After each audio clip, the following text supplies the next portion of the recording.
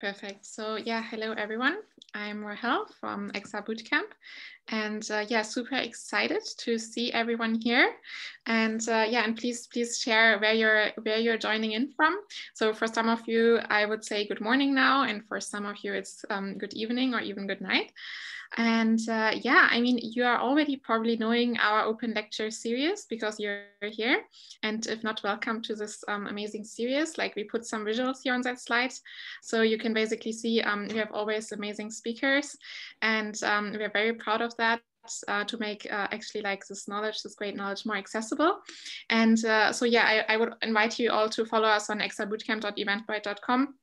You will get the event notifications there or also, um, I mean, we, we just actually published this new event um, we are hosting on March 4th, which is um, Unleash the Power of Unity Dots. Um, and uh, and yes, yeah, so, so, if you're if you're curious about learning more about the Unity ECS dot system, um, I would I would invite you all to to join us there on March March 4th, which with um, with Roger Kung from Holonautic. He's also one of the creator creators of the Hand Physics Lab, by the way. So um, yeah, I would also, um, I mean, we we also just like uh, we we had a um, we are already having this creators XR creators Discord for a while, and um, it's, it's growing very strongly at the moment, and that's why we would also like to um, extend the invite to this um, Discord channel now, and hope that yeah, I hope someone can can post the link in the chat, or I, I will do that just after after speaking for five minutes. Um, yeah, I would like to invite you all to join us. We are really helping each other, um, developing VR applications, um, sharing sharing our network and expertise among each other. Um, yeah, so so in terms of XR Bootcamp, um, we are really um, we will launch beginner level classes soon. Right now, we are focused on really advanced level classes, and um, yeah, all our students are always super happy with what they're learning. So even um, advanced people, they're still learning lots of new things in our classes. Um, it's, it's really challenging and we have a lot of one-on-one -on -one mentorship um, so that you can actually um, really learn and execute um, theory. Um, I mean, the theories that you learn from the lectures and then we will, we're really focusing on getting you portfolio projects so that you really, really can create impressive, impressive things in these classes. And um, yeah, so, so we are proud that already lots of um, different companies are, are part of our courses and are taking our courses regularly. So um, you will also build a great network when being part of the XR Bootcamp Master classes. So um, yeah, Ferhan, uh, my co-founder, uh, do you want to say a few more things about our concrete uh, course offerings? Yeah, thank you. Thank you, Rahel. Uh, always, it has been a pleasure to have these open lectures because this is the moment that we can see how much the knowledge being shared here is impacting the uh, developers, designers all around the world. Uh, we have a really great audience. Uh, so yeah, as uh, Rahel mentioned, actually we have uh, these um, different classes. Maybe in the previous slide, I can share first uh, the, the so yeah, so we have these beginner classes, advanced class and specialized beginner classes for subject matter experts. So I will uh, today uh, we will since we are talking a little bit like specialized topic today, advanced topic today. So I want to a little bit go through the advanced master classes. So um, what we are trying to achieve with advanced classes is uh, supporting you, especially if you are building an application for standalone VR or AR uh, platforms uh, like uh, Quest, Pico, HoloLens, Vive, any standalone device because standalone cuts the cord, brings a lot of opportunities, but it comes with also some uh, challenges. And we, we at, based on the feedback that we have received from uh, our network, we know these challenges and we are actually tapping into all these challenges one by one with each masterclass. One of them is lifelike interactions using the power of different input techniques, uh, which actually locomotion uh, is also um, like uh, one part of it, of course, and uh, smooth running visuals, especially since you are working on a limited hardware, uh, optimization is the most critical part, maybe. And the third one is creating a performant uh, code base, code infrastructure. So based on these three main pillars, we are actually creating different master classes. One of them is advanced VR interactions. Uh, the other is uh, rendering optimization, dots ECS, and shaders. Uh, most of them are being launched uh, in the upcoming months. And advanced VR interactions is being delivered by Roger and Dennis. You probably know them. Um, and it includes holographic UI, inverse kinematics, um, physics-based interactions, hand tracking, locomotion, and many other many other uh, topics. So at the end of the uh, class, you are creating a, a virtual robotic arm uh, after eight weeks, and it is pure, fully de designed for even um, like full time. If you have a full time job, you can still follow this class in a self-paced format or in a live format. And we are announcing the uh, today. Actually, we announced the rendering optimization class, which is also um, quite interesting. You are learning many techniques, profiling, uh, lighting, and uh, like especially rendering pipeline, how to port to a standalone headset. And the last two weeks of this class comes with a, uh, we call it nightmare scenario that you have to uh, find a way to make the uh, experience running on one FPS to increase the frames per second based on the techniques that you learned to a level of 72 frames per second. So um, this is also quite exciting for us that we would like to see a lot of um, different perspectives and methods here being implemented uh, by the students. And DOTS ECS, this is a new paradigm. Uh, ECS, maybe you already know, DOTS is uh, quite new uh, for Unity developers and Unity itself. We are actually um, creating a class that will help you, if especially if you have a scene with uh, hundreds of different entities, and if you want a performant code this is uh, something that you can actually um, benefit from. And especially there are some companies or AAA studios um, that we uh, we are now uh, talking about dots and ECS on how to bring their open world to a standalone or with a limited hardware. So I think we believe that these dots will be the future. So we will create actually a, a um, webinar and the announcements uh, will be shared with you as well. And shaders programming, this is, uh, of course, like, uh, especially if you are already a Unity developer or Unreal developer, you already and maybe use some shader uh, tools. But here we also want to teach you how to write shader uh, shaders by yourself from scratch, um, and how to create a performant uh, shader in a for a standalone device without without overloading the device, without overheating the device in a performant way, uh, which looks alive, which looks uh, as if you are running on a PC. So this is the uh, class actually focus. We will share more details about shaders class since we have already uh, a few more months before that. So um, next slide, uh, we can share a little bit about how does our masterclass um, experience look like. I will not so, go so much details, but we have live sessions for those who doesn't have time to um, follow the live sessions. That you can always have self-paced format. We have amazing instructors like our open uh, guest lecturers and our masterclass uh, instructors. Uh, one-on-one uh, mentorships, uh, group-based mentorships is very important for us.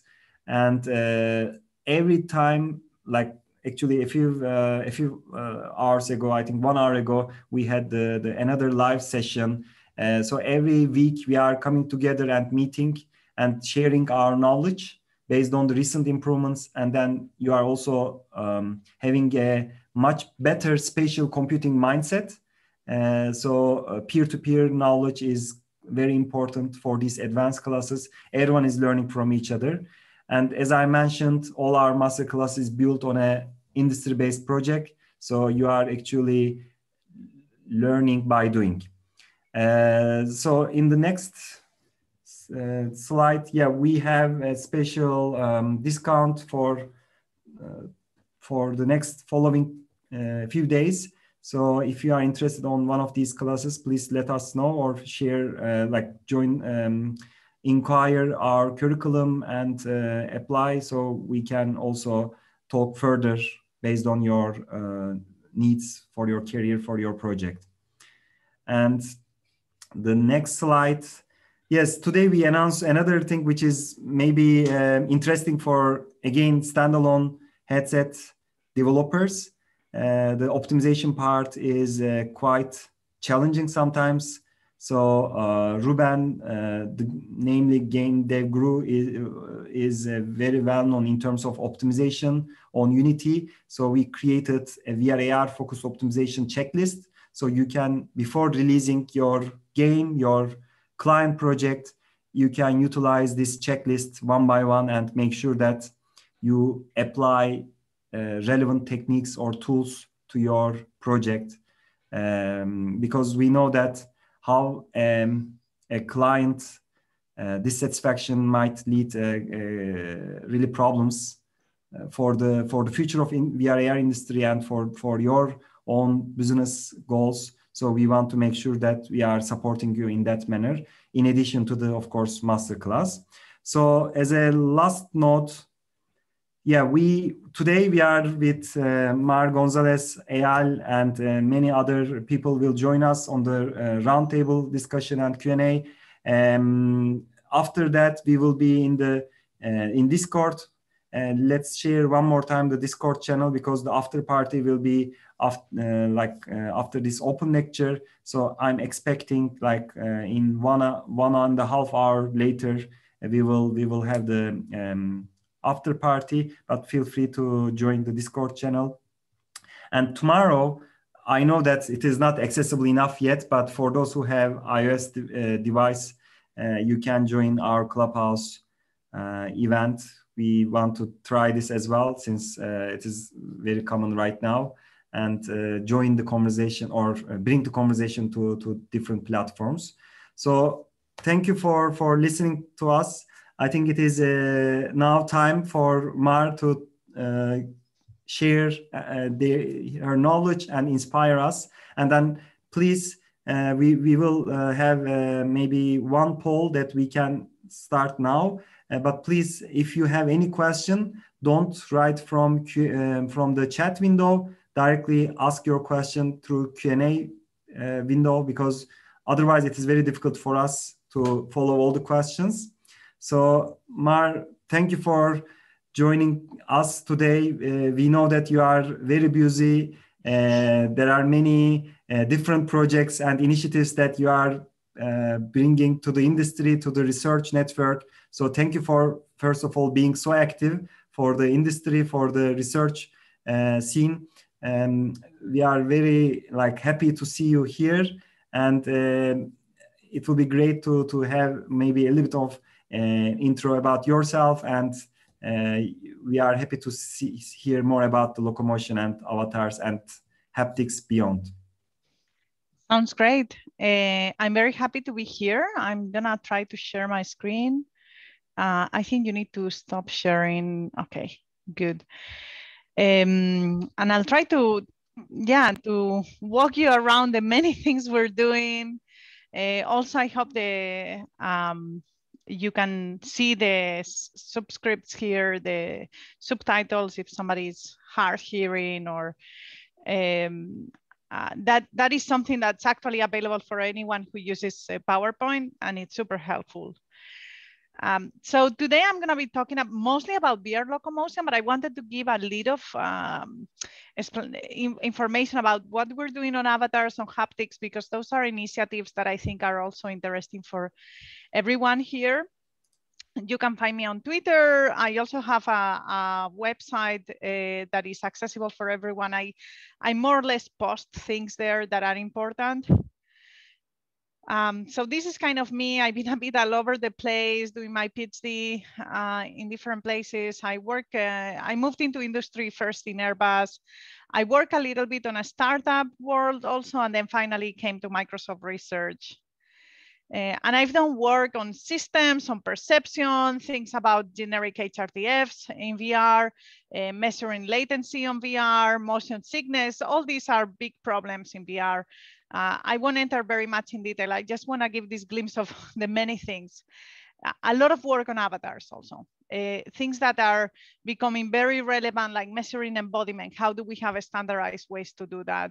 Um, and we did, you know, like super big analysis of uh, questions, then did the 400 questionnaires, analyze whether these questions were good or bad. Um, check it out if you're measuring embodiment. We're open sourcing assets a lot. This is uh, maybe 30% of our time now um, getting, you know, we see the meta humans in Unreal Engine and they are awesome. Um, and, and there will be more of that, but I think like super easy to use things um, to start are also very important, right? Like, so people can build up up to, to those uh, much higher levels. Uh, how to build a lab, uh, theories, uh, follower effect. We presented last year, it got an award, things about facial expression, lookalike avatars, perception and behavior in general. And then all this work on haptics, which have a theoretical background, right? Like from the uncanny valley of haptics, all this asymmetry of grasp, uh, work on haptic retargeting, uh, working with Jaron, uh, and so on. Um, but so all of this work, it seems a lot, but I want to give this idea of why are we doing all of this, right? So there has been a paradigm shift and, and this is becoming more obvious. Uh, once we move into VR or AR or spatial computing in general, the user enters inside the content, okay? The content is no longer inside the screen just. So this brings completely new problems. And I think everyone here is interested on those problems. Uh, and I focus on three areas of research mostly on this new paradigm shift. One is how do we represent the users? And that's why I work on avatars. The other is how do we touch these virtual objects? Because rendering is so good with the visual, but you know the haptics are still not there. And how do we move, right? Like uh, things that are not a problem in reality about moving become an open world inside the spatial computing. So um, I want to go a bit more about haptics, and this is the dream team here at Microsoft, and we have also former members and interns, and we have coverage every time we publish one of our prototypes. Um, we try to make it very entertaining also. I'm going to highlight three of our haptic devices that I think everyone here should uh, keep in mind. And if you're working on haptics, maybe have those as inspirations.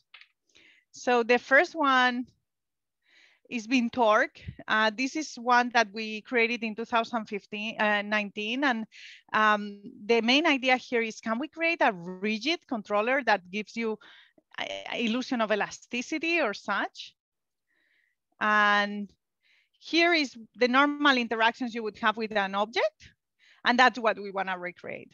So uh, we go ahead, we build this on top of um, uh, a controller for VR. And there are a couple of interactions that you can do with it. Uh, for example, have a pressure sensor to uh, control a hand. So it really feels like that's your hand and then put an object inside. Um, feel compliance over the object and be able to fill texture over the object. So I think there is a part here that is very nice. Okay, so this is the simulation. Here, let me see. That we're able to create completely out of the sensors of apps. Try again. Okay, let's see when this ends.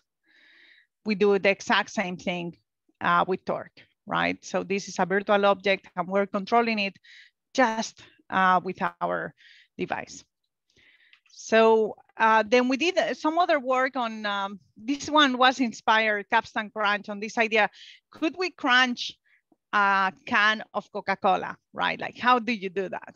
Uh, and, and, then the type of experience that you touch the surface, then you push, then it starts breaking, and then like you don't, you cannot go further. So we started working on this type of uh, prototypes, and we came up, um, you know, the the um, Mike is very much on the mechanical design, and uh, we designed this sort of uh, capstan system, which is like uh, inspire on boats. We won some awards with this too.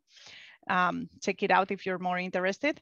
And this is one that you saw because we released it very, you know, I, I think it was December or November, um, which is the pivot. And this one is extremely satisfying when you're playing with it, right? Like you go grab this apple and poof, you get it right in your hand. Uh, it has many other uh, very interesting eh, effects on it, but this idea that you go for a virtual object and you're able to actually grasp it, it's mind blowing. After you try, you, you cannot go back, right? Uh, we play with different versions of it. Uh, you know, maybe you could have a controller that comes to you. It doesn't need to be a very specific uh, home, you know, like a professionally made this, maybe it's easier to build just a handle or, so all of these things should be inspiring for anyone doing haptics. The other part I want to talk about very quickly is our assets that we're releasing. And we're releasing for everyone to use freely. Initially, we were uh, mostly releasing only for academic and research use, but now it's for everyone. And we have first the avatars, and now we have been releasing tools for animating those avatars. So let me just show you a bit the type of avatars we're talking about. And you probably seen it. You can download them from GitHub. Uh, they are FBX files um, that uh, have full rigging, even in the face.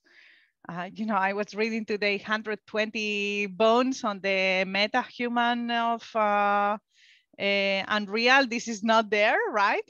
Uh, but um, we're also building now a new tool to be able to animate easier uh, with blend shapes and compatibility with OpenFace and these type of things. Mar, uh, yeah. sorry. Uh, sometimes in your not like right now, uh, sometimes the uh, the bar is closing the title uh, in the. Um, okay. I don't know uh, what. Oh, I think it's because the chat is keeping appearing. I don't know how to change that. Okay, maybe you can change the positioning of this to make sure because uh, it's directly coming to. Ah, yeah. Okay, I'll put it here. It might crop a bit the, the subtitles, but okay. it will be better. Yeah, okay, great, great. sounds good. And this is the mocap library uh, we created, right? Like sometimes when I was working with avatars, like building these proper behavior experiments, it can take six months just to animate the avatars and do all of that. So uh, the goal here is to be much faster. And so people can do it very easily. Uh, we presented this in December in AIVR. Realistic avatars are an essential component for creating social interactions in virtual reality. However, the main issue faced by small labs is a lack of simple self-creation animation tools. In this paper, we present MoveBox, a plug-and-play toolbox that aims to provide resources for motion capture and animation of the Microsoft Rocketbox avatars without the need for professional equipment. Okay, so that was done just there very quickly right? Um, it took as long as you see to make. uh, so super, super easy. We went and say, okay, we have very good depth sensing cameras. They already give us skeletons. Let's build the, the pipeline so this can go directly in real time to, to our avatars. And we have three different projects in here. One is this real time um, capture studio that we create that can capture and replay. And that has a bit of uh, extra lip sync or blink sync, uh, which are not uh, as good as what we are producing now on only focus on the HeadBox, right? Like uh, it's gonna be uh, compatible with Oculus lip sync or salsa or, you know, uh, so it's gonna be better. Here is just like a volume detector and open and, and close the jaw. Uh, and then you have this other project that has MRTK or Oculus Quest hand tracking and inverse kinematics on the upper body, all for free uh, and easy to use for embodiment of avatars in first person in real time. And then the last one is uh, compatibility with the Vive 3D, which is this Max Planck created uh, um, tool that they have also open source. Um, and that allows you to, for example, use video from uh, YouTube and retrieve skeletons, and those skeletons can go also on our avatars. You can read more of this uh, outside. So I'm gonna go back to these three problems that we're uh, trying to, to work on here. Um, and I'm gonna go back to the how we move, okay? Because uh, today is gonna be about that, but if anyone has interest on the other topics, I'm very happy to answer through Twitter or collaborate more with you. And you know, we have a strong uh, push toward open sourcing also here. So this is what happened when you enter a virtual environment. It's an awesome environment, super big, a whole city. And this is my, here down on the right, my actual physical environment. And it's not bad, it's a dedicated space for VR. You know, it's could be much worse. And aha, uh -huh, this is how far I get in the virtual city. Uh, so we we definitely need more things, uh, right? And this is a person who's wearing foot tracking, and you know, like it has quite a good uh, tracking system, but still with that super. So this was actually the first uh, experiment I did on locomotion and trying to think about it was like, okay, this is the biggest problem, right? or that I thought, that um, you have these very large virtual environments and you have a very constrained physical environment. So you wanna walk uh, through there. Um, we presented this in CHI in 2019. With room scale tracking and wireless headsets, users can walk around in virtual environments. We can create magical experiences that enable users to travel much farther in virtual reality than they walk in the real world. We explore three such methods. Ground level scaling turns users into a giant. Eye level scaling allows users to walk through a miniature world that's been raised up to maintain their eye level. With 7 league boots, every step the user takes appears longer. And I would say the main learning from all these experiments was that they're compromised okay? If you're a giant you have the more better perception of where you are. If you have these uh, seven league boots you have very little control of where you stop. And if you have the uh, you know this worldly miniature type of effect then oh you can see the door name on the door right? Like but which one do you want it might differ from one case to another and it was to us that millions of options for locomotion just after doing this. So uh, we also found another interesting thing that um, I think is worth mentioning. Uh, we did a, a, side project on this in which we asked people to walk to a specific point, um, sort of with their eyes closed. We would show the virtual world and then blank and then ask them to walk there.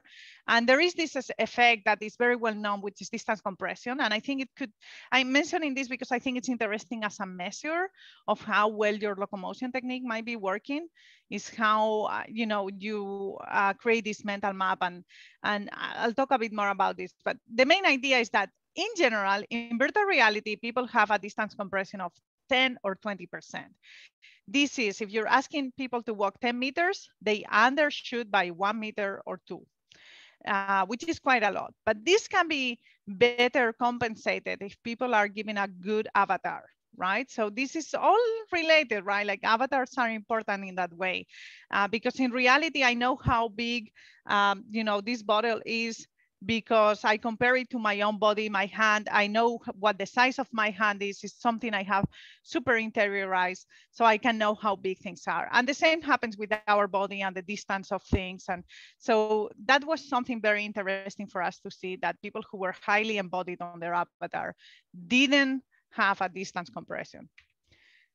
Then we did some more work with different techniques, right? We were playing with eye trackers in this work in uh, here. And then one of the things that happened, and we were exploring applications. And one of the things that happened here is that, you know, you could use them for virtual locomotion too. Like uh, if you're looking somewhere, you can reduce motion sickness this way. Um, instead of just, um, you know, having this dash point anywhere, we can have it just where you're looking at. So you could still explore the whole experience or the whole world as you move, and then have a better field of view of uh, as you in increase with the eye tracking, right? So these are type of locomotion ideas that you could have embedded on eye tracking. So this was also work on a particular effect that you could have with locomotion and eye tracking.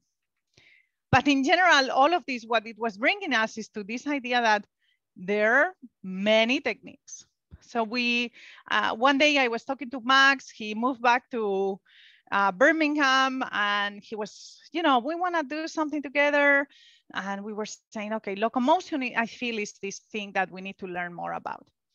And so we started setting up in a, a Google spreadsheet and some people have asked me like, how do you decide how, like, where do you put these things? And I'm like, a spreadsheet, right? Like an Excel spreadsheet and and then you start adding columns start adding rows and then you see wow the magnitude of this is impossible to to even uh, figure out where you are so the moment we got about i think it was 25 techniques it was very clear we will hit 100 easily so uh, we contacted Hasti. Hasti had, had been working quite a lot on visualization of um, techniques for haptics but um, she also had this one about the vibrations um, uh, tools for and what the perception were and like multi uh, scalar type of things. So uh, we we asked her to, to join us to kind of be able to visualize and navigate this database.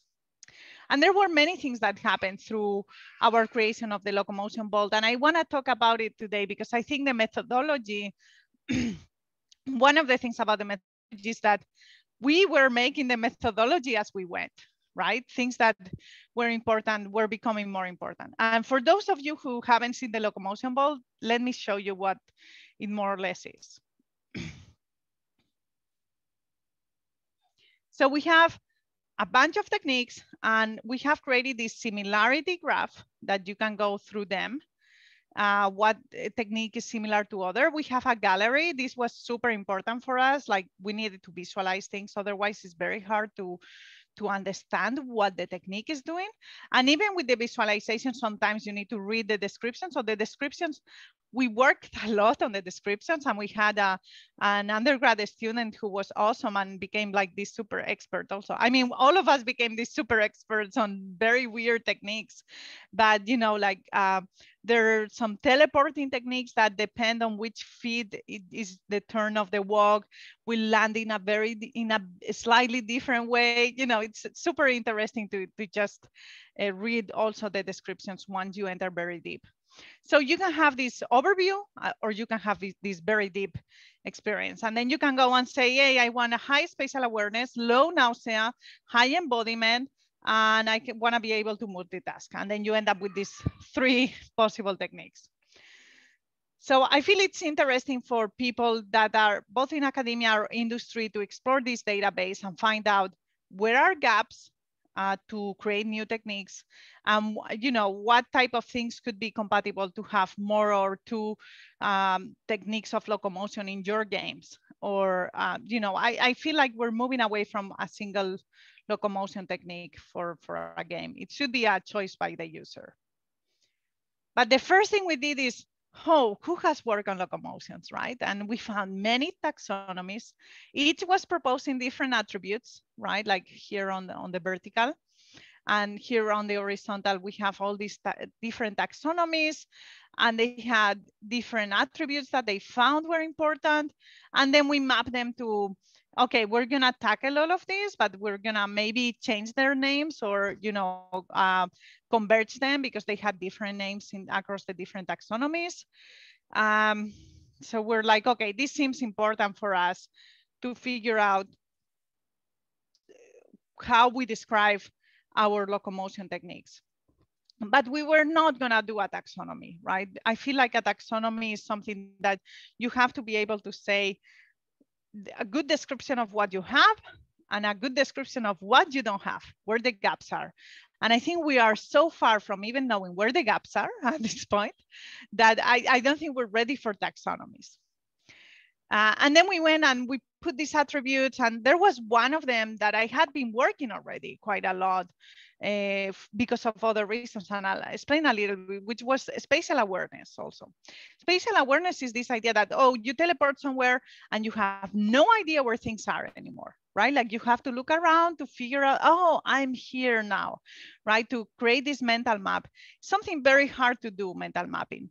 And I wanna show a little bit of this other work that we've been doing on mental mapping with Soundscape, which is an app that drives you around the space, but instead of like, you know, the typical GPS navigation of turn right, turn left, this gives you like um, sound somewhere in the space and you walk through it. Like, you know, when we were uh, caveman and we would hear some water and know, oh, there is source of water there, like a fountain or, you know, like a, um, a waterfall, and you would walk towards the sound.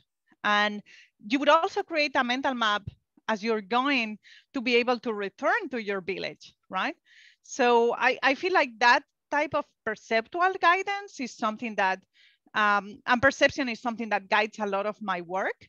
Um, so we were creating this type of effect. So let me show you this short video of what Soundscape GPS apps on our mobile phones have certainly allowed us to go further and reach unexplored places. However, we might have a modern paradox for navigation. At the same time that apps allow us to explore more, they also have the capacity to make us worse explorers. In fact, current turn by turn navigation promotes a passive form of navigation that does not support learning or the formation of cognitive maps. We suggest that a different type of GPS navigation might be possible with the use of 3D spatialized audio. By positioning auditory beacons at the destination, users of GPS can regain an active role to navigate the space. This way, So I think for everyone who's working on locomotion, this is an app that is uh, available at least in iOS. We're trying to work uh, for for Android too.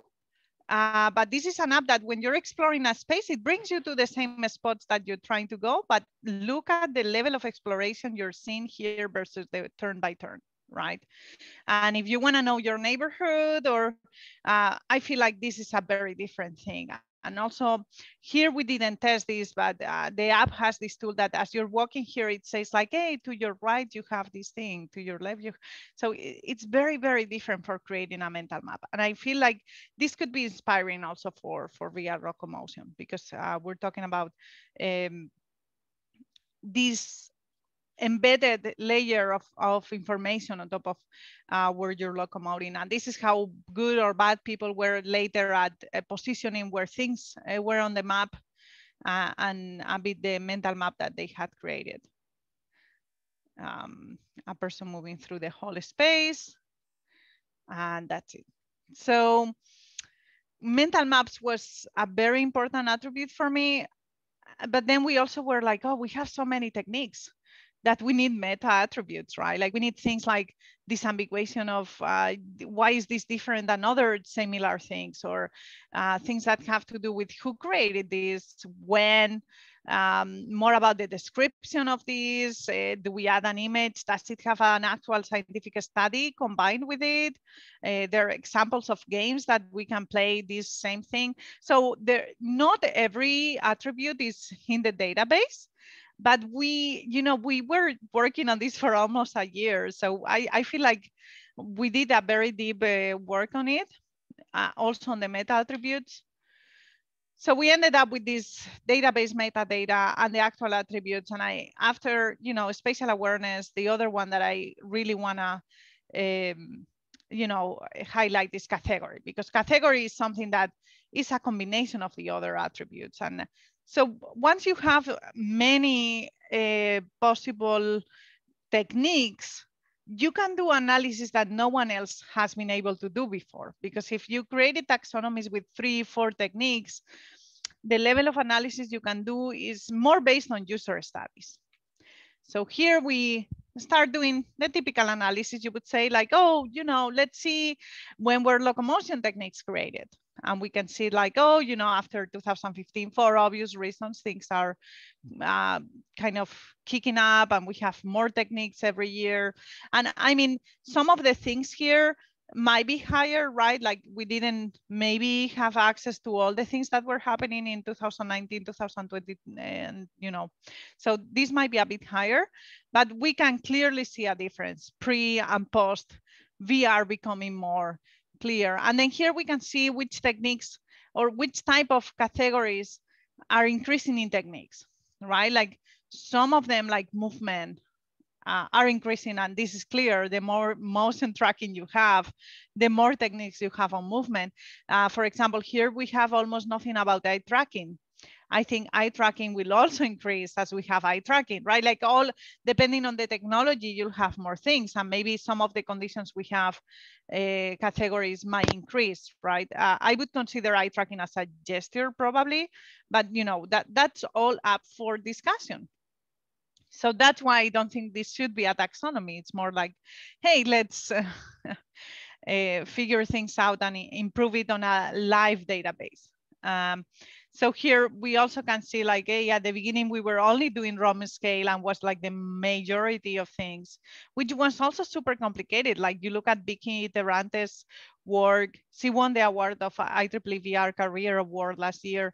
And it's this massive technology to be able to track a room scale person walking around, right? It, it was very hard back then. Uh, and now it seems like room scale is not so important anymore. And, you know, we're seeing all, it's interesting just to look at these things. And in our full paper in CHI, you can look at more at that. And then the other interesting thing is when you have so many attributes, you start having multidimensional problems. So we did some multidimensional scaling of uh, the attributes, right? Like, hey, this uh, technique has the attributes almost like this other technique. And so we had to give like numerical values to some of the techniques.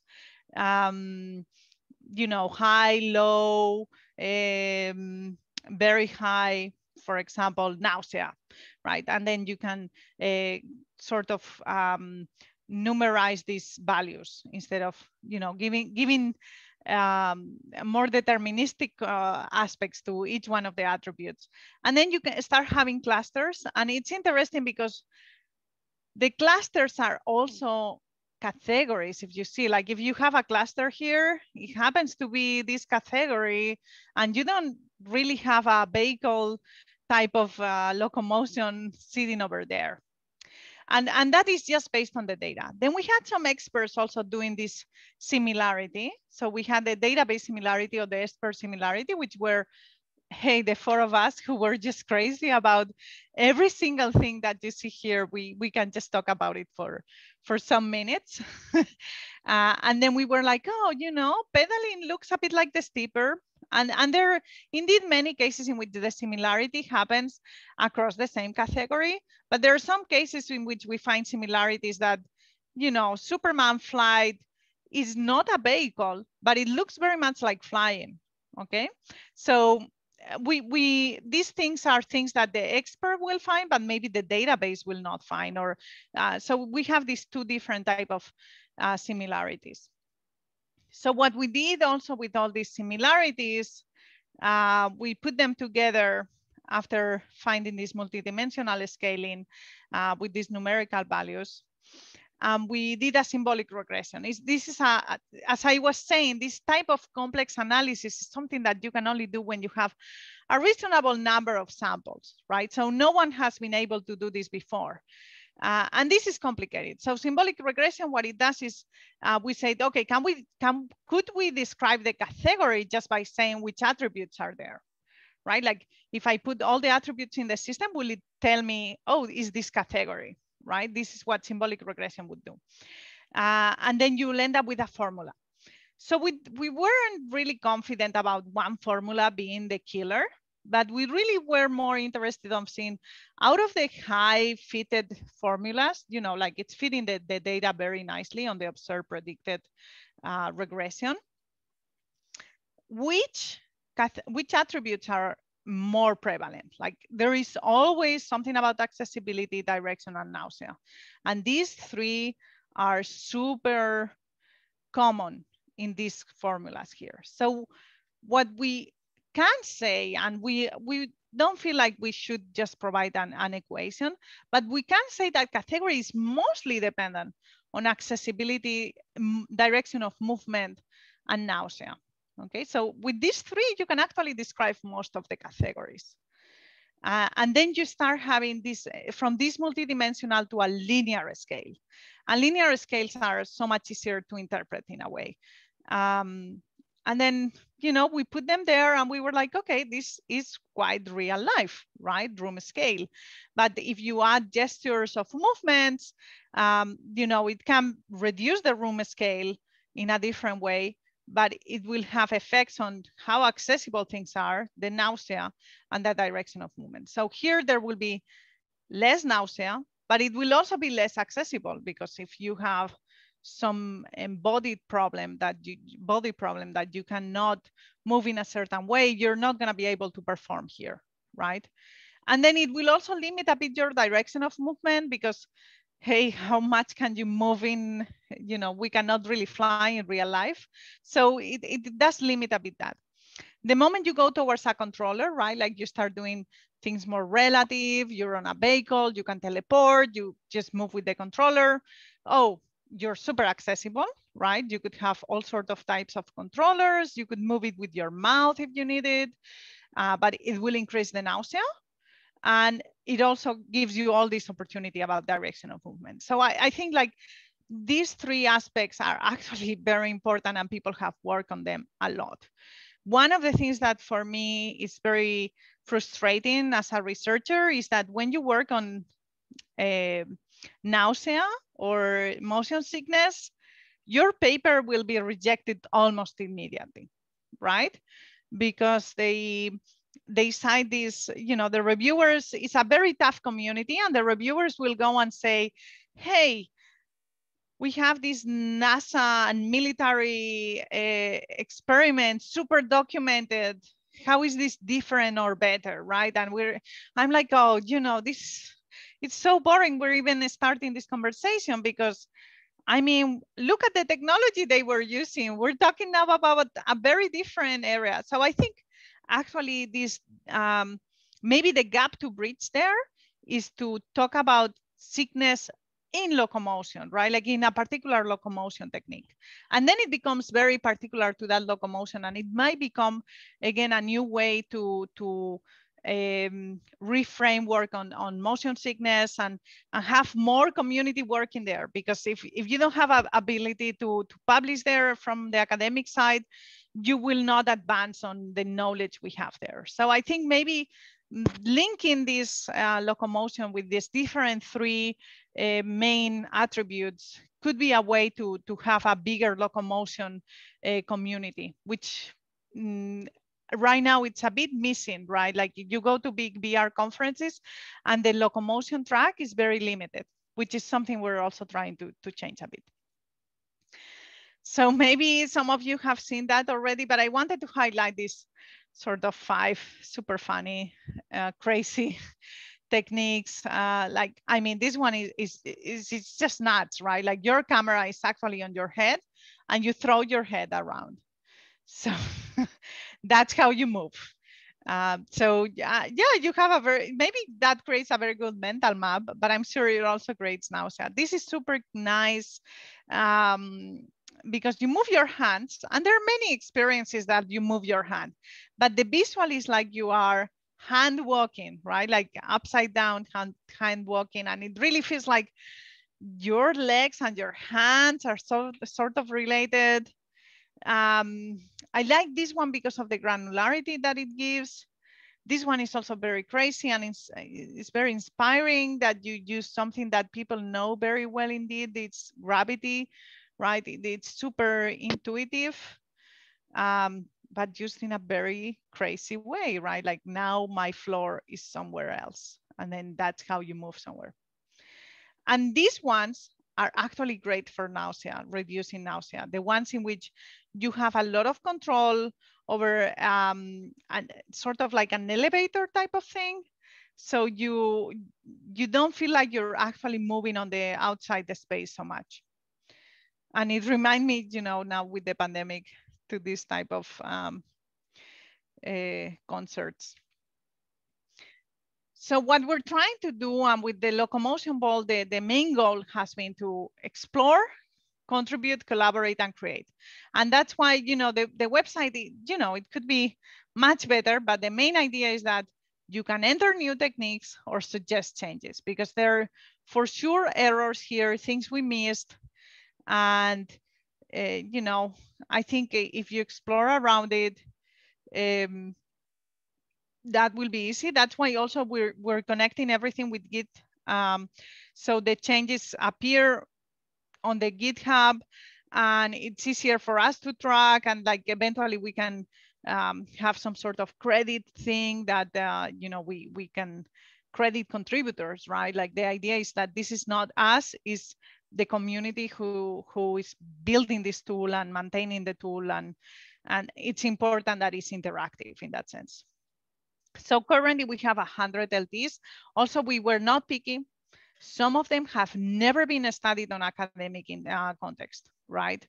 They were created by a developer. They're awesome and should be featured here. And if an academic has not even learned about it, now it's time to rethink and maybe test things about it. So in order to facilitate that, the next thing we're doing, it's implementing these techniques. Uh, many of them are implemented, right? But they are not in a common repo. Uh, so we're, we're gonna be launching a quest, probably starting uh, fall next year, in mainly with academic universities, but you know, if developers want to join, um, the main idea is that uh, professors will be assigning uh, the implementation of a particular technique to a student or a group of students and uh, we're going to be giving them the architecture of what the um, class should look like. So they sort of inherit and, and implement the, the, the different um, um, functions in the class. And, and the idea is that then it's interchangeable, right? Like if I have this locomotion technique, but I want another one, I just flip it. So it means that hey, if you're a developer building a, a new uh, tool, uh, it's very easy for you, a new, a new game, it's very easy for you with this uh, database to provide this sort of passport in which the user will choose which uh, locomotion you're gonna have, right? And, and you might wanna ban some locomotions in particular places like you have that already in, in some games where you cannot teleport while you're being shot at. Eh, in first person, right? Like then, you know, you can only teleport when uh, there is no actual uh, scene happening in, at that moment. And we will see more of that, right? Like if you have a variety, and I think we're moving to this point in which even if you look at Alyx, uh, you have more than one locomotion technique inside Alyx. Sometimes you can do a room scale, and sometimes you do their locomotion technique, uh, their, their teleport. So with all of that, I want to give thanks and also I want to highlight that uh, we do collaborate a lot with the other people for our open source, for our projects. And if, if you want to collaborate in something in particular, uh, please reach out. Um, and you know, there is a bunch of people working with me to uh, mostly Eyal, for example, uh, we collaborate a lot with Mike also on the haptic uh, devices and um, we have visitors sometimes to work on particular topics. And I wanted to have some time to go into the actual uh, uh, database. So let me, and, and we can do some questions while I'm on the, on the database. So let me share my Thank screen you. again. Thank you, Mar, for this very inspiring presentation. But beyond that, a resource maybe we will use many, many years uh, as developers, as researchers. So uh, thank you for that. I'm thinking of, I think we need Vault for any kind of different uh, techniques being used in, in VR and AR. I know like hand gestures, uh, yeah. interactions. So are you? I mean, that's partially The reason why you can download the whole, uh, uh, it's open source, the whole backend of this uh, website. And that was something, you know, it was great to talk to Hasti about this because she was uh, very clear that she wanted to also open source the website in the same way that we were open sourcing everything. So this website, you can download it and change locomotion for whatever else you want, right? Uh, and implement uh, already from this sort of a skeleton. Uh, and I think that that's important, and I agree. Like you could have this for haptic controllers. For uh, I, I feel like we're getting to a point in which it's exploding so much the field that it's no longer possible that a single individual knows everything, yeah. right? Uh, some uh, there are some good scholars that keep on track, but you know we, we want to have a collective uh, intelligence here, and this is the only way I, I feel. Definitely, and the, the the way that is being uh, designed is also quite uh, like beyond tagging system. You also even create a very nice correlation mm-hmm. Uh, I think it's great. What I suggest is maybe uh, we can still keep this because uh, the questions, some of them are related, locomotion related ones might be directly related, and you can even show here or through your slides. Sounds so, good. Um, I will also uh, invite a few of our uh, like trainers, alumni, so they may directly ask question in person mm-hmm. as well. And before that, we also want to understand better um, for which purpose that you are using these locomotion techniques or avatars.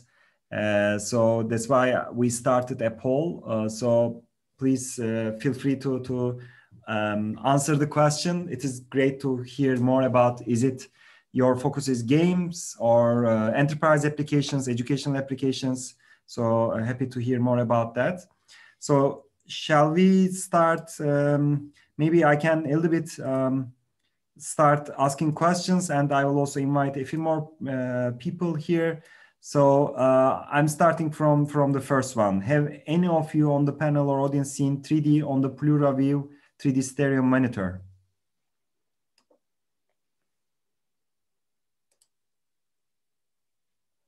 Do you have any? I, I, I have not heard this before. I, yeah, I haven't tried it. Um, also, I think the pandemic is limiting a bit the type of things that you can try, right? Like that's the type of thing that if you're in the office, you like it's easier to to find, especially if if you're working on a larger uh, corporation, somebody's gonna have something that's gonna show you. I miss that a lot. so we have over 30 questions. I mean, we will try to answer uh, most of them today, but tomorrow also uh, we can continue in the uh, clubhouse event so uh, that is a question that i wanted to actually ask so that's good that someone also think the same. Uh, how does your avatar uh, system compare to metahuman by epic? Uh, yeah i mean as i say during the talk i think it's a very different type of tool. Um, well metahuman it's great. I mean it's awesome looks great. Uh, it has, uh, for the moment, just two avatars. Uh, it has 120 bones only on the face, which is, you know, a lot of bones for you to control. Open face tracks, I think, 16 points on your face. So you see, like, I mean, going from from a, a, a cheap solution on a webcam to their and i've seen some demos already that look amazing eh? I, and even with open face or open pose type of facial tracking uh, but um, i sort of feel like it's it's very nice how they're building in for very top end and it com it's compatible with low end. I think as a starter level, it might be easier to work on our avatars and then move to the metahuman. Metahuman doesn't have the variety of uh, gender, races, everything. It's also very much uh, focused on the face at the moment. It has full rigging. For me, the biggest thing about this is that now the whole rigging system on Unreal is so much better right? Like they are, the fact that they have their own product in, in, in it, it's gonna make it so much better. Uh, because the biggest problem for now has been interface. It's gonna be easier even to have our avatars in, in Unreal and we're releasing very soon a tool to import them very nicely like we have for Unity. Mm -hmm. um, and uh, so I think it's a, it could be like a starter point for then uh, use the MetaHuman and, and maybe the people who are using one don't want to use the other one or uh, uh, you know there there might be um, we will see how it plays but we're not competing. We're trying to provide assets so people um, can use more of these and I feel like we're being validated by other people who are also releasing assets that this is the way to go right? Without assets there is no people working on things and. I think uh, that that's great when we see more people releasing assets. And same goes for the Mixamo avatars, right? Like these are great assets. Uh, yeah, so let me quickly go to a, another question. Can you please elaborate on best practices for identity and access management for avatars? Yeah, this is super interesting, right? Um, identity. Well, ideally, the best would be that you can have an avatar and bring it across whatever uh, game you're going or social VR, and you come with your avatar like a passport. Uh, well, first, this is not possible right now. we have a very interesting uh, South by Southwest uh, panel coming this year. We just recorded it. Uh, with Timoni West, who is the VP of VR there, and, and a couple other four folks uh, and we're talking about identity a little bit there, and it's um, it's interesting because first, it's not supported to just have one identity. Second, it's not clear people want to have only one identity, right? And maybe you want to have different identities in the same way in life, right? Like you're in your family you behave in a way and you're a different person than when you're professionally or uh, so we we have to understand that identity might be complex and maybe some people want to look alike and maybe some people don't want to look alike. So that that's how divergent things are. Um, but clearly something that we want to be very careful is with the identity theft. Yeah. no matter how this should be a concern for anybody working on avatars. Um, we are not working particularly on that aspect, but I do realize that is a concern. Uh, best practices is be careful to not be supporting identity theft. Uh, and I would actually like to see a standard that would be able to transfer avatars easily without having to build a whole new importer, right? Like we're now building for Unreal and we have one for Unity. And every time you wanna import an FBX, which, you know, it's like a standard uh, file, you need to have an import uh, system.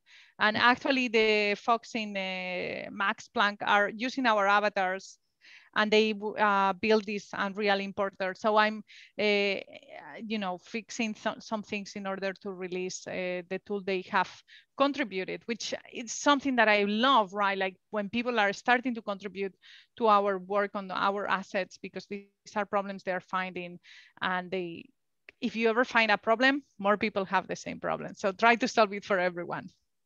Yeah, definitely. Like cumulative and collective effort will be the best thing. Um, I I also like to ask to our uh, panelists. I mean, the roundtable discussion, right? So maybe someone from the from the uh, panelists that uh, I just edit them from our uh, researchers or uh, uh, partners, alumni.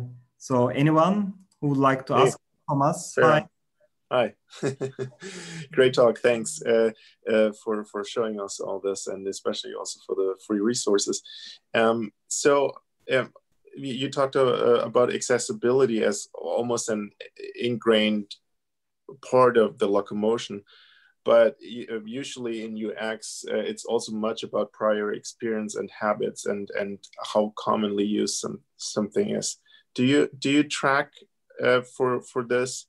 How often a certain technique is is used in in, in products in certain let's say for games or for enterprise that that that would be valuable i think. So uh, yes we have uh, i want to answer in two ways. I think accessibility is an issue for whole spatial computing not only for locomotion.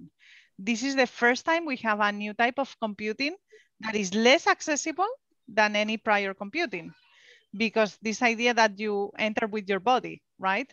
And that you enter into a virtual environment versus until now it's been uh, more abstract uh, content, right? So you could access with a mouse uh, you don't need to have the level of motion that you need for a full body, right? So all the interactions, like what if I cannot reach my hand here? What if my arm is shorter? What if like all these things that we were having on, on um, industrial design for cars or like can you reach the radio becomes again an issue here in VR, right? So I, I would say accessibility is way beyond. Um, we have a, a paper on um, on this idea of uh, you know accessibility building VR as an accessible by design, right? We're still designing VR. Let's think of accessible from the beginning. Regarding your other question, let me share my screen again. I just stopped sharing for a second and now it seems like, um, so what we're trying to do, okay, for example, here is, um, yes, we are trying to have examples, right, of people who have been working on this particular technique and then who created it where you can download a, a version of it that you can uh, maybe play uh, with this Crytek or, you know, so I feel like this will, right now is just one thing, but it will be like more examples and eventually there, you know, this is uh, minimal at the moment, but this might grow in different ways. And I do understand that uh, even people will be like, hey, you know, this doesn't only appear here, it appears also somewhere else. And, and that is where we're going, right? Like, I do think it's important to know uh, who has implemented this before, especially for the us as developers too, right? Like, you want to reach to someone because you don't want to do things three times, right? Replicating work is, it's very common, but it's not particularly good. Okay. So, uh, let's continue. Thank you, Thomas. Any other questions from the panelists who would like to uh, go ahead and open their cam and ask? Otherwise, I will continue the questions coming from the uh, our uh, audience. Uh, will your MoveBox system work on Mac? Well, um, part of it won't, all the part with the Kinect. So the, the Capture Studio probably won't. The part of uh, that imports from the skeletons from YouTube probably will um, because uh, that part actually uh, the you have to download the VIBE 3D um, uh, tool uh, from GitHub and be careful because that one is not for, it's only for academic use and you cannot share it. That's why we didn't share it inside our repo. Um, but that one actually runs on, on Linux. And then once you have the, the skeleton, you can import it very easily inside Unity. So if you have Unity running in Mac, you will have no problem.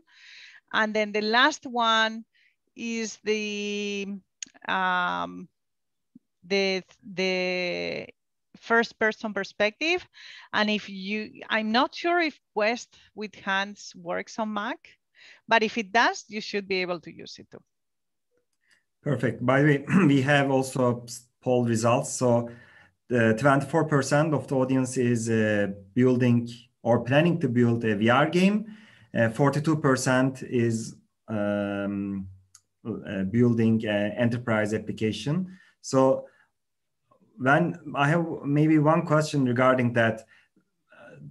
As far as we see, most of the time, uh, locomotion is more important for games. But based on the use cases that you have already gathered, uh, how do you see like how enterprise and educational applications might best use of locomotion techniques or do you think that most of the time especially for education it should be like um, not room scale and everything should be much more like without locomotion? I think if we if we look at the, the accessibility problem, the moment you have a lo different locomotion techniques, you give far many options, right? Yeah. And I think even just for that, we should consider it. And I think that that's the biggest handicap right now. Like if you, in many countries, you have to provide the right to work for everyone. And that includes you give them a device in which they have a, you know, this limit accessibility to use it and there are scores for these things. And um, in order to provide that in the same way that now you can have the mouse or like a, a tip mouse on the on the, the you, you, have to have the equivalent of that. And I think a controller, despite it gives a bit more nausea, it's much easier and also is more backward compatible because yes, we're moving towards very full body tracking systems, but also we have a, a lot of people, I mean, I hope people are not using cardboards anymore but maybe some are the Samsung VR, right? And and you know you just have this finger thing, uh, most.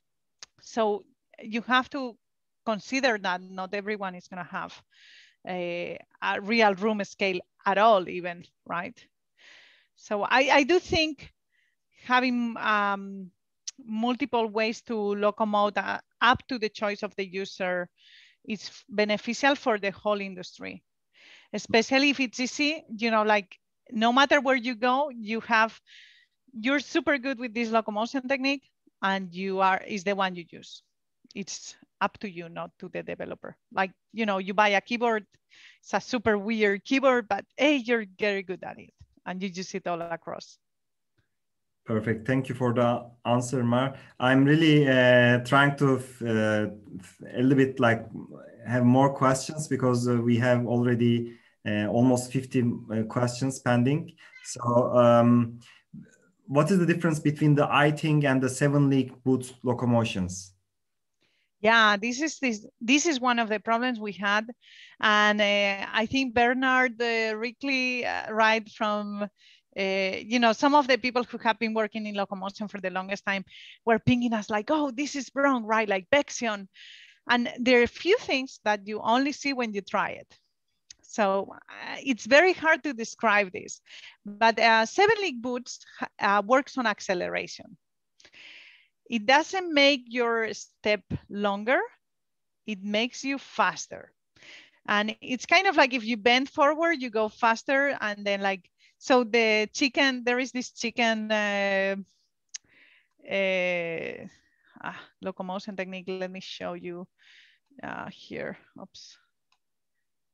Uh, let me find it. Oh, I had a filter. And I'll show you the, the thing. If I find it, let me share my screen.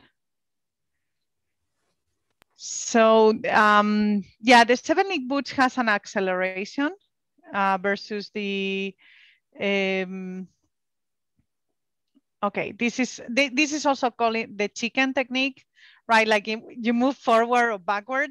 This has very little control, right? Like you want to stop, you need to be like in this precise point where you are not producing any acceleration. So seven league boots does a bit better than this because it has the feet tracking and seven league boots here. So it, it's worse on the feet. It's not just the head, but you know, it's very hard to know how much distance you're moving versus when you're on something like the iScale, um, you're just a giant and the world is a miniature. It's like you're moving the world across. So your um, your step is always the same size. It doesn't depend on how fast you're moving or, and, and the granularity is so much better. And let me find it, the eye tracking uh, scale. maybe we have a different vision of it. Do I have some, let me reload, filters.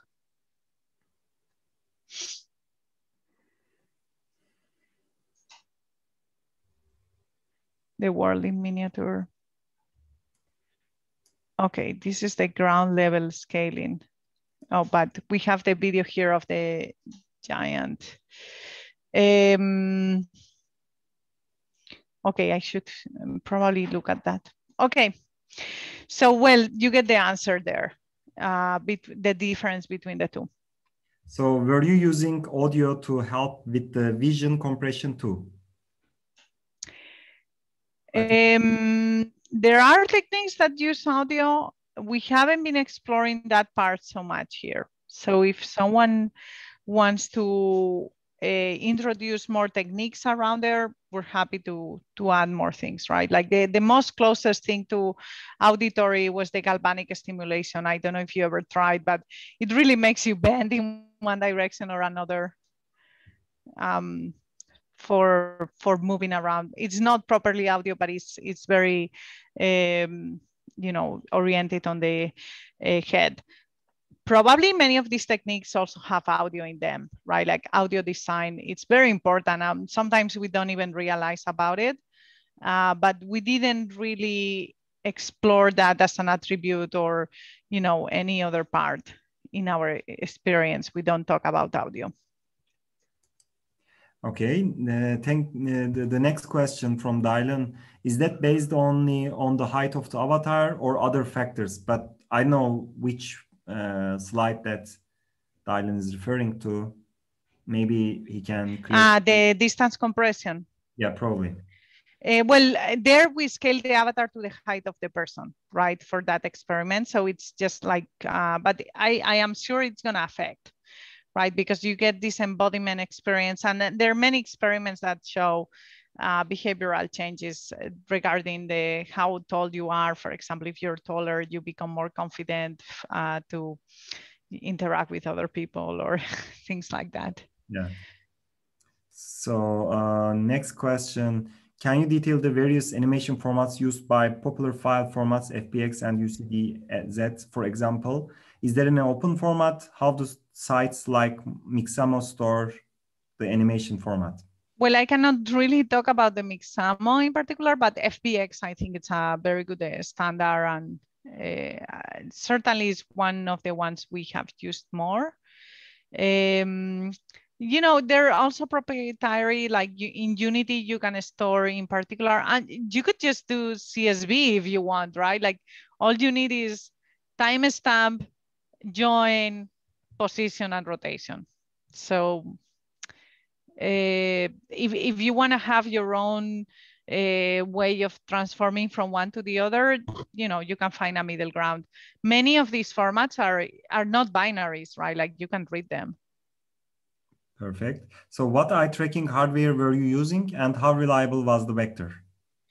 Um, yeah, we were using the the Pro, the Vive Pro with eye tracking. Um, you can read more in the paper, uh, Mise-Unseen, uh, because uh, we were doing many other things. Uh, that was just one of the applications. Uh, we were looking also at things like um, pupil dilation and more things than just eye tracking. Eye tracking wasn't uh, was pretty good. One thing that was harder um, was the pupil dilation and this type of more detailed information from from the eye tracking hardware. But yeah, we were using the the Pro. What are your thoughts on the game called Tea For God? It uses procedural generation and non-Euclidean geometry to give people the feeling of walking in an infinite space. How can developers improve on this mechanic to make better experiences and games? Yeah, I mean, one thing that I didn't mention is we have this workshop going in uh, IEEE VR next month yeah. and impossible spaces is part of locomotion. We're not really talking about this here, but um, it hits very much perception, which is something that I really like. So I, I think um, we're gonna have combinations in the same way that I say that audio is a combination. I think uh, we, we already see some of that here, right? Like in the techniques, there are some techniques that um, let me see, like this one, you know, once you reach a corner, the world completely flips. So it's kind of like an invisible infinite space or, um, and, and you have a few others uh, that are also of that type that I think it's important to start finding ways in which we can implement both, especially for limited spaces when you're trying to do some sort of room scale uh, this is, you know, similar one, like, hey, you reach the, the corner and then the world flips around you and hey, now you're walking in the other direction, right? So there are some of these experience that I think uh, Snap Motion is also, you know, a bit of it. Uh, this one is one that you really want to read. um, and actually this person is moving with the controller, right? Like you can have this type of infinite spaces in, uh, with controllers. It doesn't need to be just uh, room scale. Uh, by the way, I also shared the um, workshops happening at IEEE conference. Yeah. Um, I, I, if you are interested in this locomotion and any other uh, breakthrough topics, let me say, or research topics, IEEE VR conference is the only way that you can actually um, join the, this conversation. And it's happening online, so it's more accessible than before.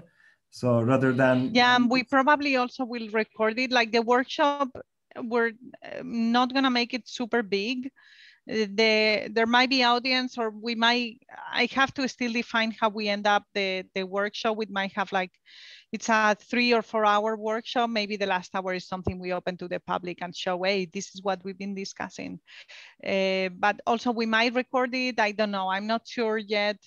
Uh, but the, the main idea is that people who are working on different areas on locomotion and some of the people were working on infinite spaces uh, on the papers that I review uh, will be joining and we will be talking about all of those, uh, how, how things combine, right? Like one thing is the techniques and then the other is how do you implement in reality um, through many other aspects.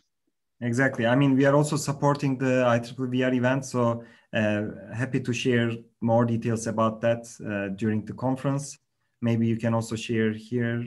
Uh, um, let me ask this, where is your GitHub link for your open source 3D models? Uh, here.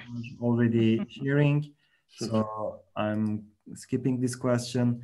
Uh, with all of these locomotion techniques being categorized, there must be hundreds more that were discarded. Are there any honorable mentions that looked promising but just didn't work out? Um, we try to be as, as exhaustive as we could. We look for many games. We try many things. And the best way to, um, and this has already been something that people have been entering or like suggesting changes and entering new techniques.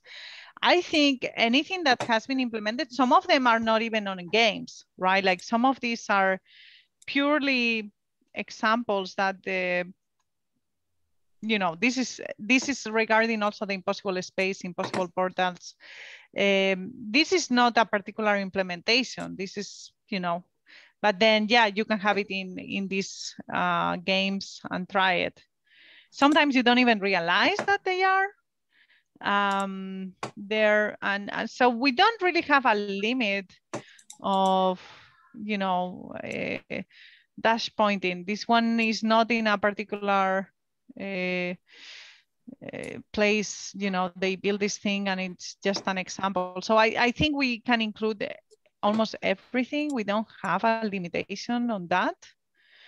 Uh, regard threading, this one is also, you know, a, a project Motion Moon project that is is not even a, an actual game or or it doesn't have any publication to it. Um, is this idea that you move the controller? It's kind of like the chicken, but on the controller, right? Like you, you use um, the direction in the real world. Hey, Ferhan, uh, can I ask another question? Uh, definitely. Go ahead. Yeah. so um, you mentioned earlier uh, um, when we talked uh, in my first question that uh, you think um, people should be allowed to to pick um, um, uh, techniques that work for them. Um, uh, I'm I'm often as a as a designer think kind of the other way around that you as a designer have the responsibility to pick the right method mm-hmm for the audience to to really not you're putting too much almost on onto the user to to pick yeah. the right thing and then it's uh, what what do you think about that yeah i think when we have so many categories and techniques you definitely want to do some curation before you put the user. Some users might, you know, it's it's good if you are able to support things that they bring because some users might learn something and they don't want to move from there. But uh, I kind of like the compromise from from Alyx, right? Uh, and if you played Alyx it's this top end game. It's super nice. And you see there are more than one locomotion techniques in there. Mm. There is one that allows you to move very fast, very far away without having to move. And then there is a, you know, room scale type of uh, other option. So I think the combination of both makes it mm, more compatible with the being there for longer than 30 minutes right? Yeah, absolutely. Uh, what what I yeah, it, it, what I mean is not uh, strictly only using one, but having the designer kind of. Yeah. What would you mention? I think also, for, for example, to, to enable the, a certain experience. Yeah, for the ones that have particular hardware, right? Like if you have a hardware and you're like you love it. Yeah. Um, yeah. having the ability to bring this thing. That's why I think a, a repo that people can um, use for their own development or is compatible uh, for other people to bring their things in there. I think that that's because you're not gonna be building compatibility with every other thing. But on the other hand, like if if this is a person who actually that's the only way they can locomote. uh, that or, I, I, you know. I thought another interesting thing uh, you said about accessibility is that you said it's it's one of the least with uh, XR is has one of the lowest accessibilities, which is uh, definitely true from a certain angle of, of hardware and, and, and all the different um, thing, things that are being de developed. Usually in, in when I have a talk, I, I kind of turn it around. I say it the other way around because we, we enable not an abstract interface, but a natural interface. And that's why it's, uh, it absolutely has let's say potential to widen the target audience to to non-computer natives. Um, so, yeah. so I, I usually say it's the most accessible compared to well i mean if, if you're talking about how people interact intuitively with it yeah, yes yeah, there are people who cannot put a headset on right? Absolutely yeah, so how do you even start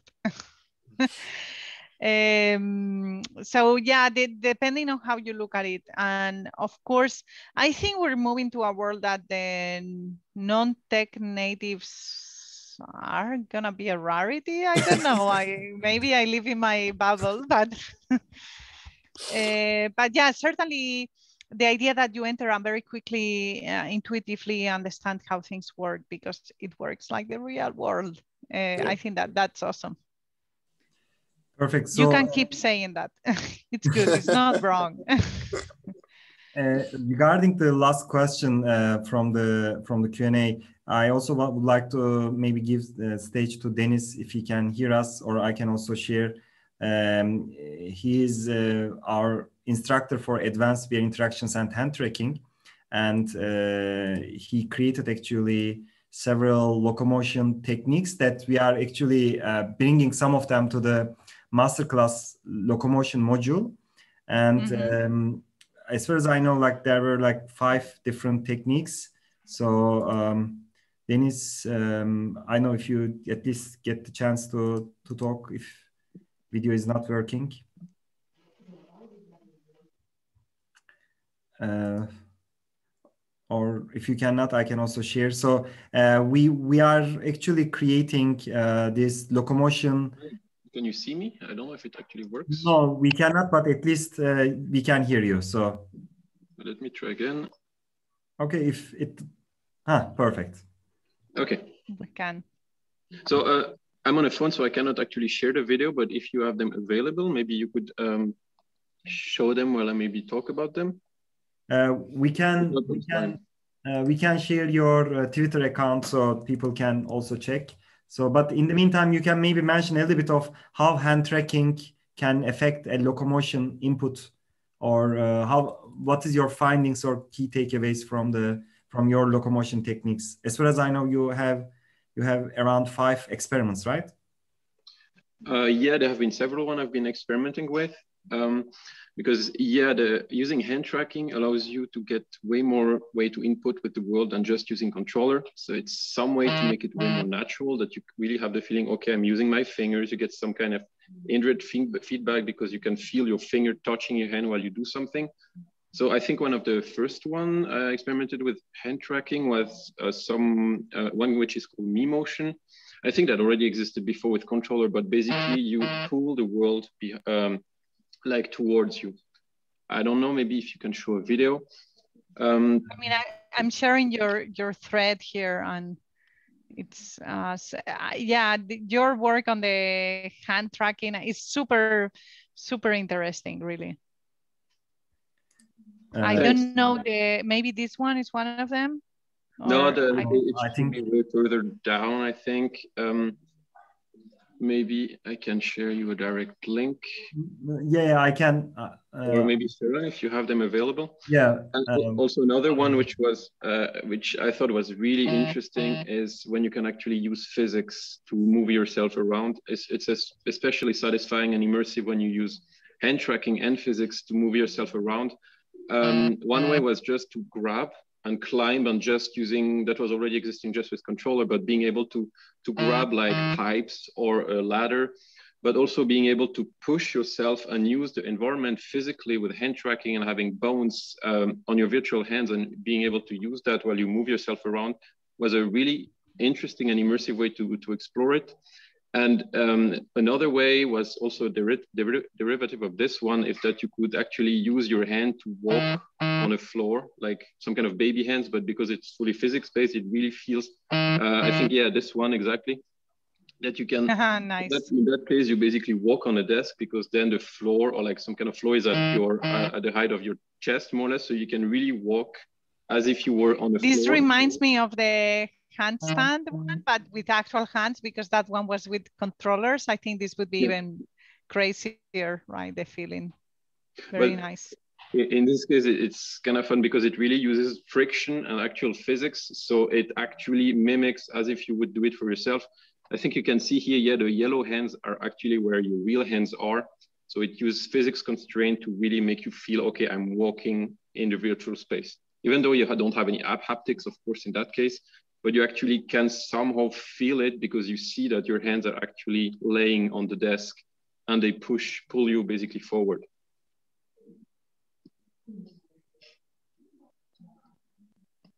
Uh, th this was another one, which is also a just a der derivation of the other one, which is still physics-based. You can actually use moving part of the environment and use the physical interaction with your finger to basically use that as a some kind of locomotion system. So in this case, it's just a conveyor belt. You could just grab it or just put your finger in the slit so you could just pull yourself around.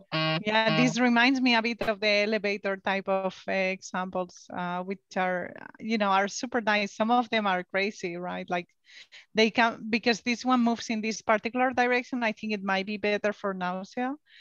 But those elevator ones, sometimes they move in whatever direction. Um, Nice. And uh, yeah, I think this one is the, the, the first I explained is uh, basically using or being able to hold fixed object in the real world. I think that was already done quite a lot with controllers. But here you have the additional layer of being able to see your finger and you can yeah really use the physical world to move yourself around. Yeah, that's nice. I like the ISS station, right? When you enter the Oculus uh, and and you can play with the ISS, uh, which is similar because you have no gravity. So you have to grab at places. With the controllers, it's quite hard actually. I think maybe with the hands would be more natural. Uh, I think one of the main challenge was to deal what happens when you lose tracking, especially mm -hmm. when mm-hmm. you climb. Uh, because then you, you put your hand out of the field of view. So what should, should you do in that case? Uh, because if you really follow where the hand goes and the tracking is bad, then it could make you like move around or, or glitch, and that could be actually really bad for uh, uh motion sickness in uh, induction. So here, yeah, basically there are like several ways to deal with that. As soon as the tracking gets bad, you just lock your hand in place relative to where your head is, so it doesn't move anymore and it cannot let go. and only when the tracking is good again. So if you basically look at your hand then and you open your hand, then you can continue the climbing experience. So it's of course as not precise and as satisfying with controller, but it brings another layer of immersion at control. Yeah. Uh, Very nice. this is part of the class, as far as I know. Locomotion, this locomotion. Uh... The teleportation, yes. This one, uh, well, it's this one is a more complex version because you can basically teleport in every dimension.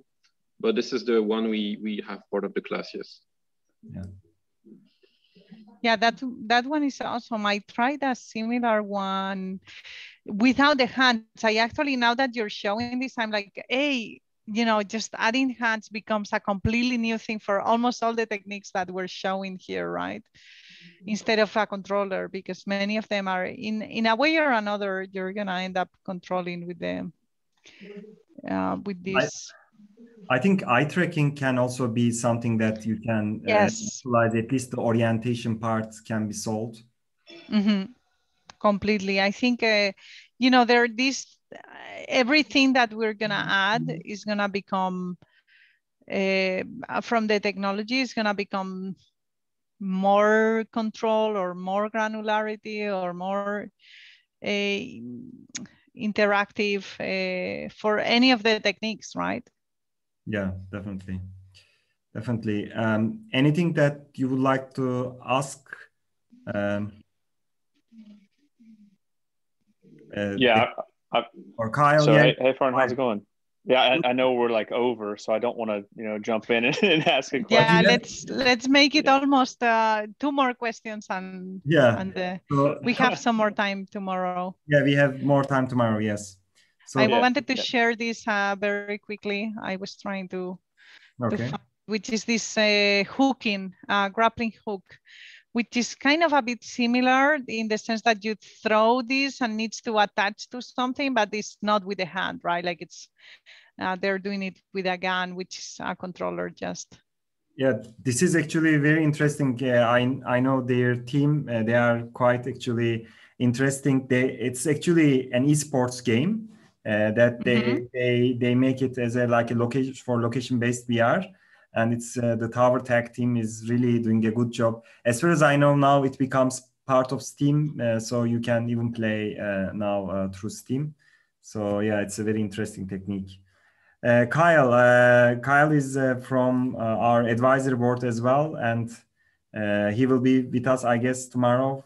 So, but happy to hear your question. I think you have one question here. Yeah, I, guess I'll shoot for the question today, and then we can t- chat about it more tomorrow. Again, I don't want to take up a ton of time, but I, uh, the, one of the big questions that I've been having is, well, first off, Mar and the rest of the group, thank you guys so much for this. It's been it's amazing that y'all put this together. It's uh, um, like a dream come true from from our perspective. Um, but we, I, I wonder if there's going to be a point in time where we start taking you know a top set of those ones just like you were mentioning, to allow people to select things within games, to build the package, so then ultimately it's easier for developers to pull these in versus you know they're all individual packages, um, and almost like a, a, a, set instance where you, you programmatically you just you pull those particular components in. Uh, are those things that are being worked on right now, or ultimately is there like a, a subgroup that could be created to try to create those packages for Unreal and Unity? Um, I mean, what we're doing for now, at least on, on our side, is trying to have maximal support for the maximal tools. Uh, but uh, it's me and Eyal. so we're yeah. getting a lot of support from other people. Uh, universities that are using our tools for, you know, they, they are building this thing and then coming and saying, hey, you know, we have this thing working now uh, in Unreal. Okay, give it to us. We do a bit of code review, ways to, uh, one thing that I wanna have is a bit of a YouTube channel, which each of the things, how do you actually import it, right? Because you download the, the GitHub and sometimes you don't know how to do things, but certainly the collaboration is open for anyone who wants to transfer any of our tools for anything else or say, hey, now I have it working with this or we have probably a space for you guys on the contribution to anyone here. Yeah, awesome. I appreciate that. I mean, yeah. this is something that we can do, like whatever it, it can, especially uh, researcher part. Anyways, IEEE and ACM SIGGRAPH community is already doing a good job. But from the industry side, especially from because every uh, quarter uh, we have different crazy experiments coming from our uh, classes, so we can even bring that uh, to your uh, maybe advice, and you can give feedback. I think it will be great to to share this knowledge as much as we yeah, can. I'm happy to to interact more further and uh, keep this active. I think we need to have a stronger community on on these three areas that I showed, right? Like the avatars, the locomotion, and the, the haptics. And I understand the haptics is the trickiest one because building actual prototypes is um, far beyond software, right? Yeah. Uh, but mm -hmm. So uh, absolutely appreciate it. Thank you. Um, I will. Um, and Nicholas has one question. Maybe we can talk about that. Uh, 3D Rudder is also one of our uh, uh, oldest actually partners. Um, so have you have you get the chance to try 3D Rudder uh, for the especially direction or so we were not able to really try it. As i say this is one of the handicaps of our tool. And some of our collaborators were already saying hey you don't describe Vection correctly for this one. It's like maybe we couldn't try it right? We didn't try it. But uh, we have tried similar tools and that's where we're you know it is we are aware that our database might have uh, some things missing. And I think actually the haptic devices that are, I mean, haptic, the, the hardware devices that are uh, particular, particularly solving some of these things are pretty good. Yeah. right? Like the Rudder is a good solution. You know, these, these things become a good solution. It's harder to adopt because you need to buy it or or find one or you know sometimes it's not so easy uh, but uh, they generally propose an interesting solution for the problem. Definitely definitely. I mean i'm pretty sure that they they can send uh, for people who wants to explore for research purposes. So mm -hmm. happy to to match you as well. So uh, i would like to actually uh, maybe to our panelists anyone who would like to ask questions because we have to wrap up maybe in the next five minutes. Yeah, I need to yeah. lunch for a three-year-old. Yeah, almost okay, 12. So let's let's let's wrap it up uh, very quickly. First of all, um, like anyone has any last-minute question? If not, we will continue the discussion uh, tomorrow at Clubhouse. Uh, maybe our team can share the uh, Clubhouse invite details. Um, for those who wants to continue discussion today, at least internally, join our Discord uh, discussion after party. Um, we will start in 15 minutes. So anyone, I think I'm seeing Massimiliano here and uh, other people. So anyone who wants to say um, maybe last words or uh, anything to add before we finish. By the way, we also have the poll results AI applications for VR. Maybe we can ask from Microsoft research team who will bring maybe a few uh, interesting uh, guest speakers for AI applications for VR. It is not easy to find this uh, for this subject. So, okay, great. So I think uh, we we are now good to go for at least for today. Thank you, Mar, for for like. I mean, for today you spent uh, a lot of time, but I'm seeing that you have already spent a lot of time not only for your own research and creating uh, amazing uh, uh, inspiration to the world but also bringing people together. I think we need more more initiators uh, to make this happen because now we can see things together you know? Like um, i feel like sometimes like um, since uh, big companies are have to do the ip protection etc that things are happening behind the doors. So you are a little bit giving us a glimpse of this uh, research happening, whatever happening in, behind the doors. So thank you for for this first of all.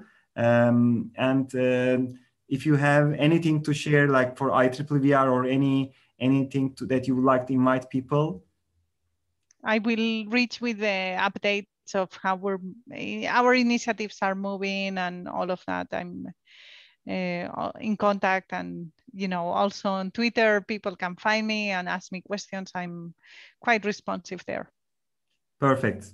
Thank you mar and thank uh, you everyone. thank you everyone for joining us today and uh, happy to see you tomorrow as well. Have a very nice day and evening